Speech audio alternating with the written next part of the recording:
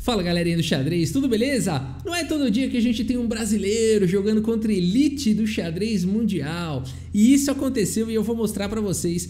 O nosso brasileiro lá de Itajaí, um jogador forte, jogador de torneio, é o Gustavo Henrique Soares. Aqui ele tá jogando então contra o Ricardo Nakamura. Vamos dar uma olhada então aqui nessa partida. Galera, uma partida que foi jogada aí no chess.com em 2019 com ritmo de jogo 3 mais 0, tá? É 3 minutos para cada jogador para a partida inteira, com nada de acréscimo, nenhum segundo de acréscimo. Partida dificílima. A gente tem o, o Gustavo aqui, um jogador tava na época com 2 mil de rating, aqui um jogador forte, e lá em Itajaí também ele é um jogador é, que costuma ganhar muitos torneios e tudo mais, né? É, vamos dar uma olhada então. Aqui o Gustavo é, abre a partida com peão dama D4, Nakamura responde com G6, C4, bispo G7, cavalo C3 e aqui C5 já. A defesa pterodátilo tem esse nome aí na defesa moderna, esse lance aí com C5, D5 avançando, bispo por C3, né? Aqui uma variante jogada e muito curiosa, onde as pretas já trocam o poderoso bispo aqui pelo cavalo. Aqui B por C3 e seguem aqui com F5.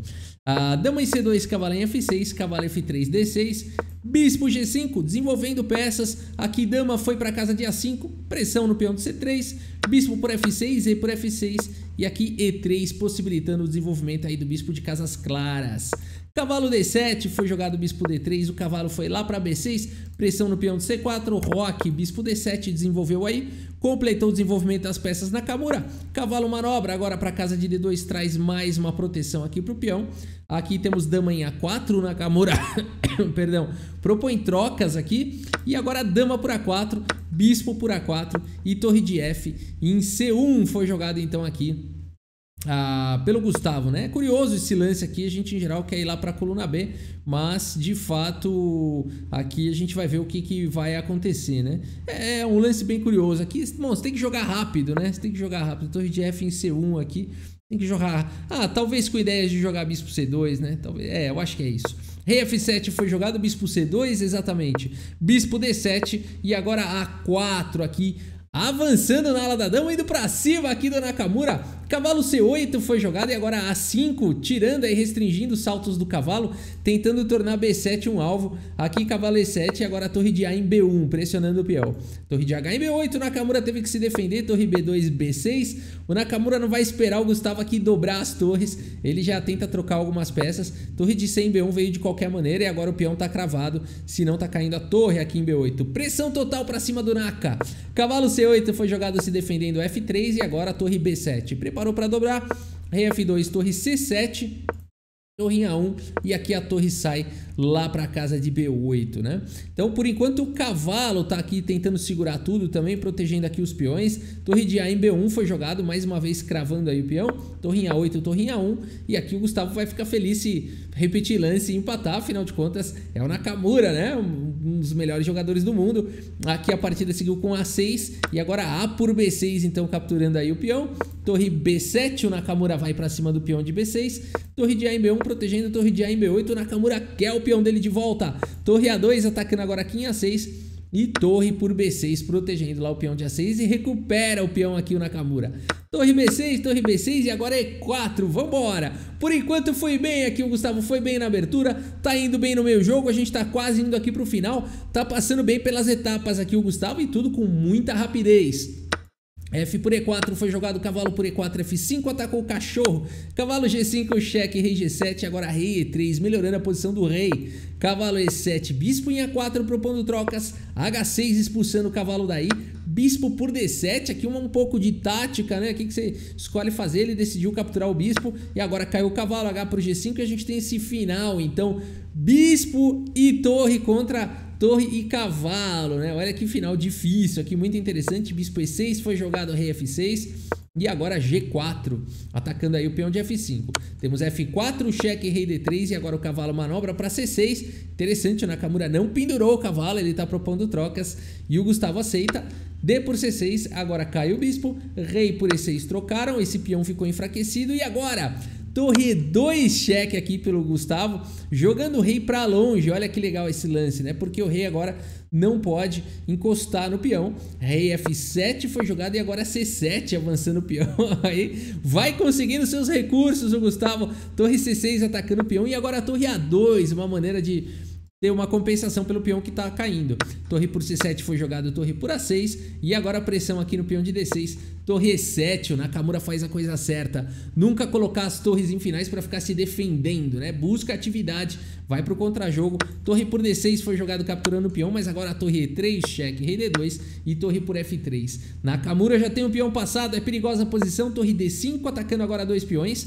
O Nakamura segue agora com rei F6, torre por C5, torre H3 e galera, impressionante, a gente já tá no lance 48, né? Chegar no lance 48 com 3 minutos no relógio e ainda contra o Nakamura numa posição assim, é, equilibrada, muito difícil, olhando esse final, é muito difícil, mas equilibrado, realmente é um grande feito aqui, já por aqui já tá um grande feito, né? Torre C6, cheque foi jogado rei E5, torre por G6, torre por H2, cheque, olha que final complicado, todo mundo tem peão passado, rei E1, agora rei E4, foi jogado torre por G5, e aqui rei F3, o Nakamura vai levando o rei para ajudar na promoção do peão, torre G8 foi jogado agora rei G2, dando o tapete vermelho aqui, estendeu o tapete vermelho pro peão, aqui G5 avançando com o peão passado, F3 e aqui torre F8. O rei e a torre segurando a casa de F2. No limite aqui o Gustavo. O Nakamura segue agora com torre H4. Temos aqui G6 avançando com o peão.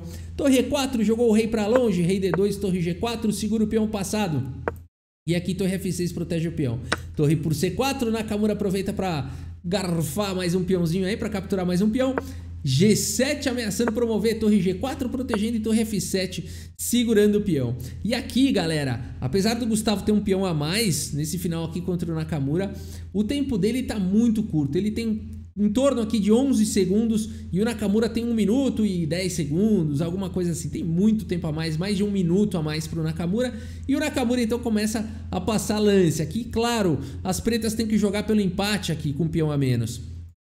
O lance recomendável aqui seria F2, né? Depois de rei E2 tentando encostar, você dá cheque e volta a torre para G4. E o melhor que as pretas podem conseguir nessa posição é o empate aí por cheque perpétuo. Mas o Nakamura quer dar seta aqui no Gustavo. Afinal de contas, o Gustavo, dar seta é tentar ganhar no relógio, né? O Gustavo ele tá com 11 segundos aqui por aí Torre G3 agora foi jogado pelo Nakamura, que não é um lance, o melhor lance da posição, mas é um lance rápido que não vai para o empate.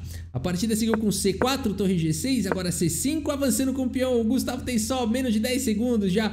F2, agora C6 avançando com o peão. F1 promovendo para a dama e agora o Gustavo perdeu a torre. Torre por F1, rei por F1 e agora acabou para o Gustavo?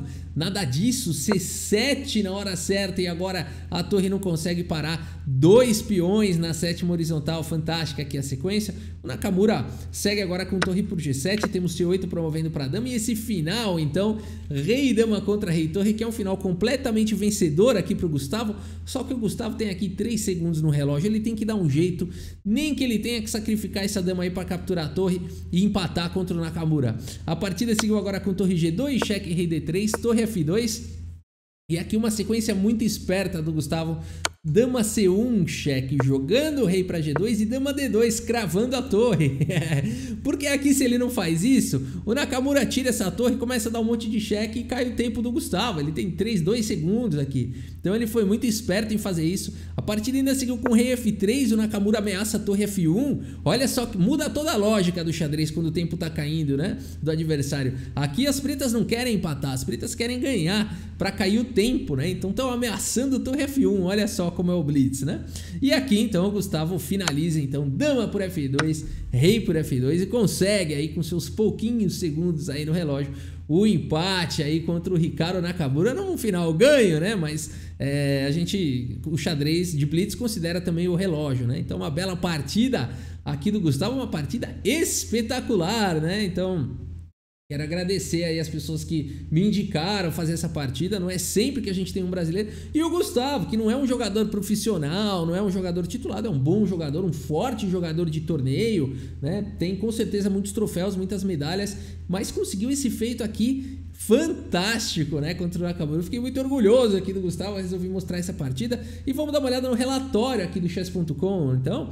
E a gente teve aí, olha só, uma precisão altíssima aqui do Gustavo por uma partida de 3 mais 0, fez a mesma precisão do Nakamura, 96,5 contra 96.4. E aqui a gente vê e o Nakamura foi para um lance mesmo de querer dar seta, né? Torre G3 não foi para aquela sequência de empate. Ficou melhor para Gustavo, mas é aquela história, o tempo tá caindo, tem que fazer alguma coisa, né? E a gente teve então aí esse, esse empate. Maravilha, pessoal, é isso. Espero que vocês tenham gostado aí do vídeo do nosso brasileiro empatando aí contra a lenda do xadrez mundial Ricardo Nakamura. E é isso, muito obrigado pela sua audiência. Um grande abraço para todos vocês e até a próxima. Valeu. Vala H5. No tabuleiro de xadrez. De xadrez.